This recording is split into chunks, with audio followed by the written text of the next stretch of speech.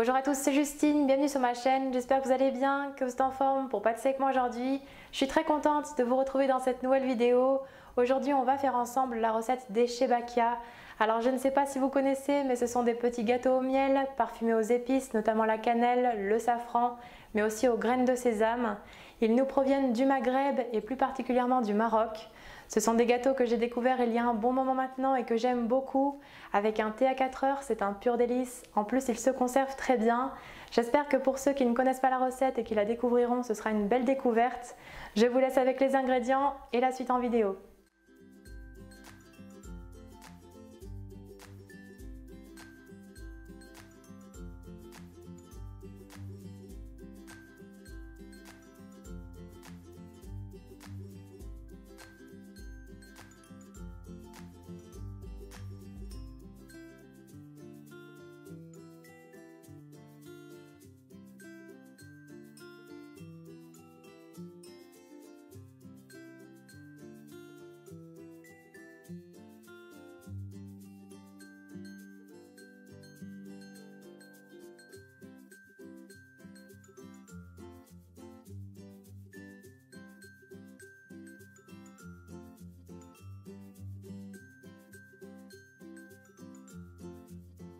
Tout d'abord, on commence par faire fondre doucement le beurre au micro-ondes.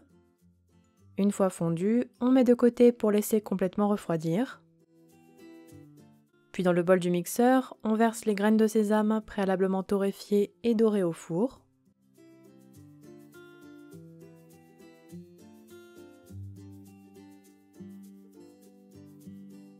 Et on mixe pour moudre le tout pendant quelques minutes. On doit obtenir une sorte de pâte, mais attention, pas trop liquide, il faut qu'elle soit ferme.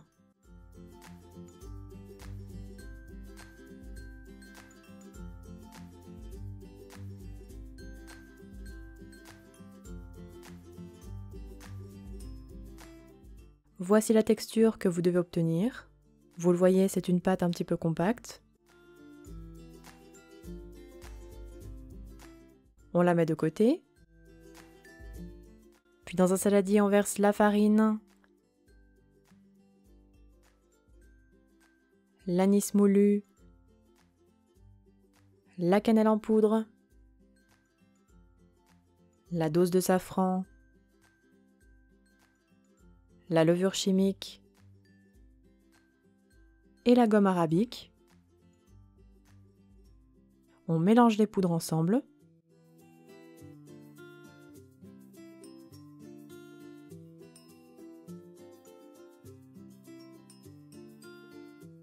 Puis on ajoutera la poudre d'amande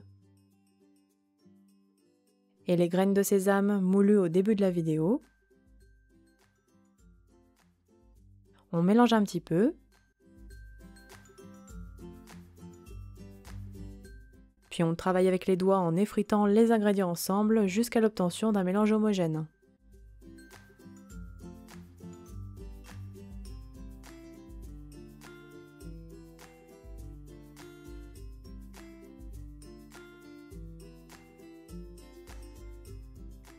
On viendra ensuite creuser un puits au centre. On y ajoute alors le beurre fondu refroidi ainsi que l'huile de tournesol. Puis on mélange un petit peu en ramenant la farine vers le centre.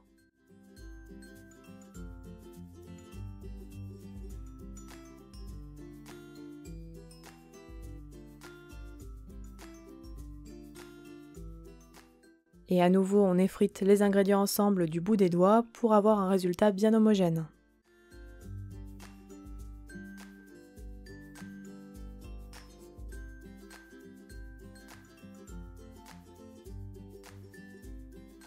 On ajoute ensuite le jaune d'œuf. On mélange un petit peu. Puis on incorpore également le vinaigre blanc. On prend ensuite l'eau de fleur d'oranger à laquelle on ajoute les 55 ml d'eau. À nouveau, on mélange un petit peu la pâte. Avant d'ajouter en trois fois notre mélange à base d'eau et de fleur d'oranger. Et petit à petit, on ramasse la pâte en pétrissant jusqu'à l'obtention de la consistance désirée. On doit avoir ici une pâte souple mais à la fois ferme, facilement malléable et bien homogène. Alors à savoir qu'ici la pâte ne contient pas de sucre puisqu'on viendra tremper les biscuits dans du miel.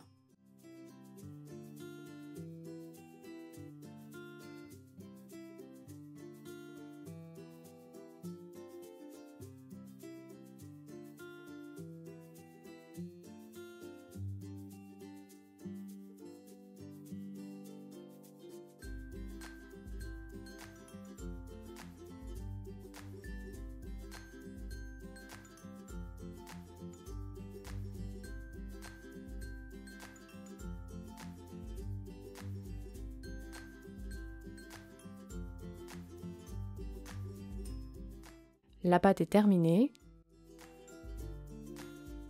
On forme alors une boule bien homogène sur le plan de travail.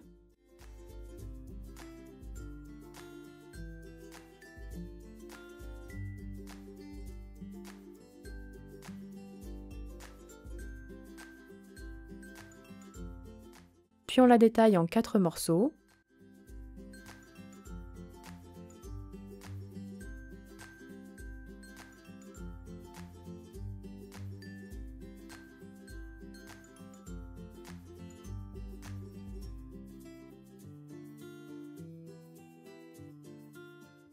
On étalera ensuite chaque morceau sur le plan de travail à l'aide du rouleau à pâtisserie. Alors il faut étaler finement sur environ 2 mm d'épaisseur.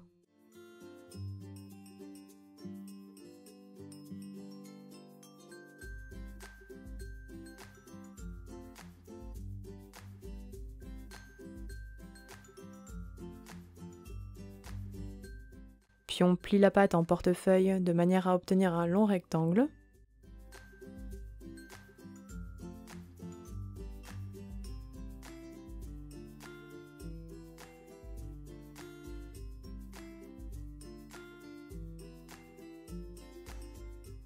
À nouveau, on étale un petit peu le rectangle de pâte. Et on replie encore en trois, toujours en portefeuille.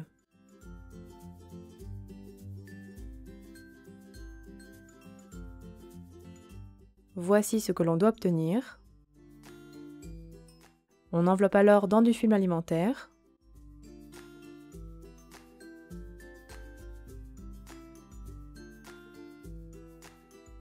Et bien sûr, vous ferez les mêmes opérations pour les trois autres morceaux. Quand on a terminé, on les réserve minimum une heure au frigo, ils seront ainsi plus fermes et plus faciles à manipuler. Puis après repos, on étalera chaque morceau à l'aide du rouleau à pâtisserie sur le plan de travail très légèrement fariné. Alors il faut l'étaler très finement sur environ 1 à 2 mm d'épaisseur. Il est très important que votre pâte ne soit pas trop épaisse.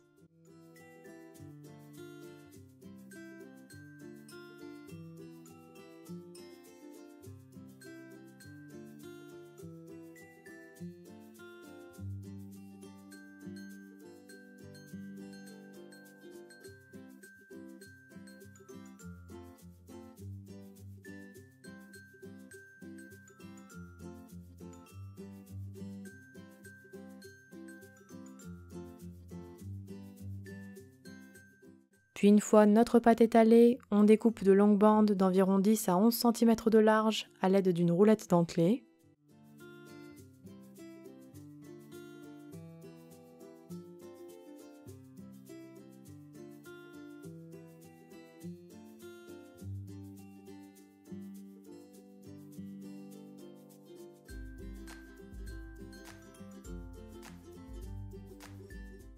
Et on réalisera ensuite des rectangles dans lesquels on découpe 5 en taille, sans aller jusqu'au bout, pour obtenir en tout 6 bandes par rectangle qui doivent faire un petit peu moins d'un centimètre et demi de large.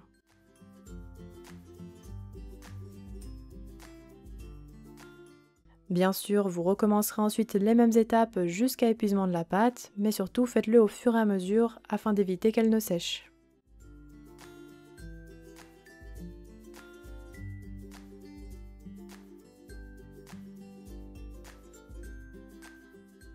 Voici les petits rectangles de pâte obtenus. On va alors façonner les shebakia.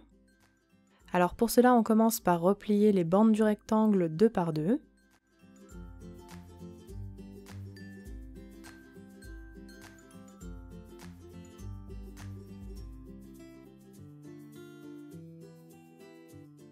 Puis on attrape les deux coins aux extrémités de la bande qui se trouvent sur le dessus et on vient bien les souder entre eux.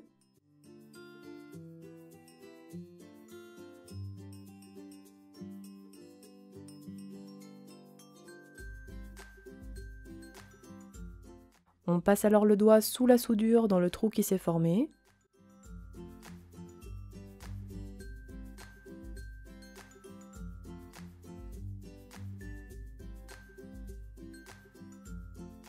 Puis on écarte un petit peu les bandes. Avant de retourner le tout pour avoir la sorte de petit nœud au centre. À nouveau, on écarte un petit peu les bandes pour donner une forme arrondie et une forme de fleur et on pince bien les extrémités pour les souder.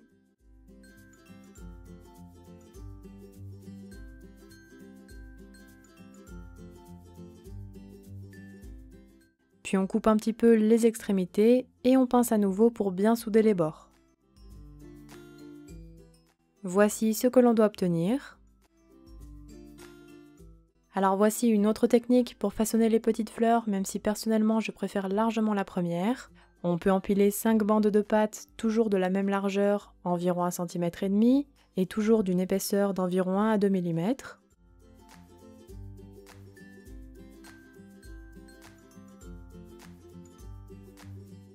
Puis une fois les bandes empilées, on découpe des tronçons d'environ 10 à 11 cm de long.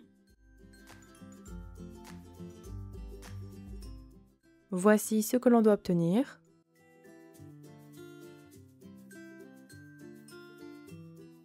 Puis on écarte délicatement les bandes de pâte, donc deux à chaque extrémité et une au centre.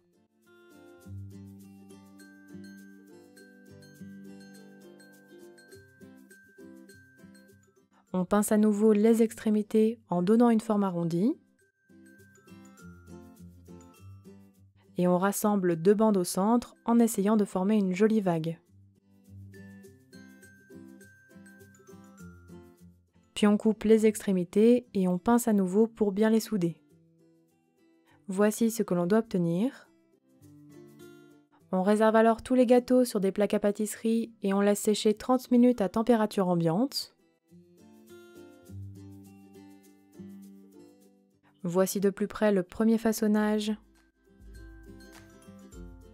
Et ici le second façonnage pour que vous puissiez faire la différence. Quand on a façonné tous les gâteaux, on va pouvoir les faire cuire. Alors pour cela, je dépose quelques shebakia dans le panier de ma friteuse.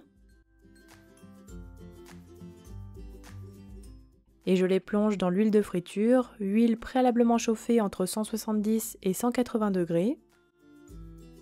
Alors vous allez voir, ils vont remonter à la surface, puis on les laisse dorer du premier côté pendant quelques minutes.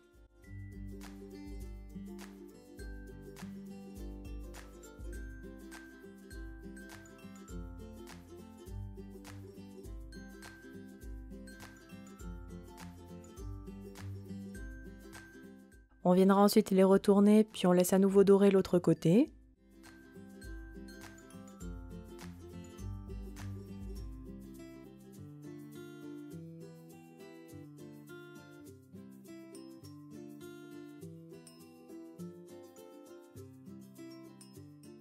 Puis quand ils sont uniformément dorés, on les retire délicatement de la friture.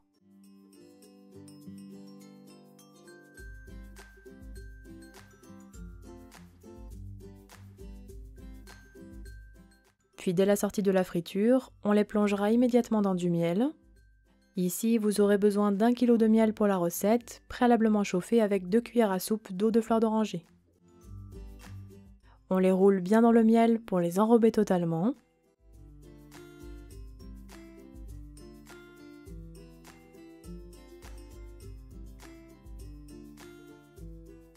Et vous laisserez bien les petits gâteaux s'imprégner du miel pendant quelques minutes, le temps de faire cuire une autre fournée.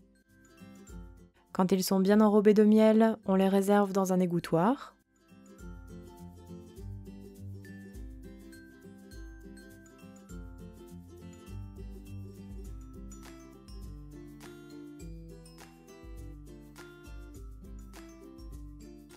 Et on les parsème généreusement de petites graines de sésame dorées.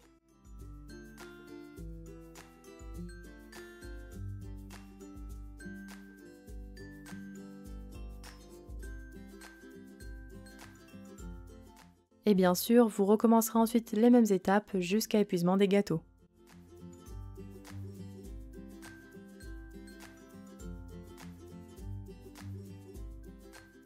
On réservera ensuite tous nos petits gâteaux sur un plat. Ils peuvent alors se conserver pendant environ 2-3 semaines dans une boîte hermétique à l'abri de l'humidité si vous arrivez à les conserver aussi longtemps. Et voilà, la recette est terminée. Bon appétit à tous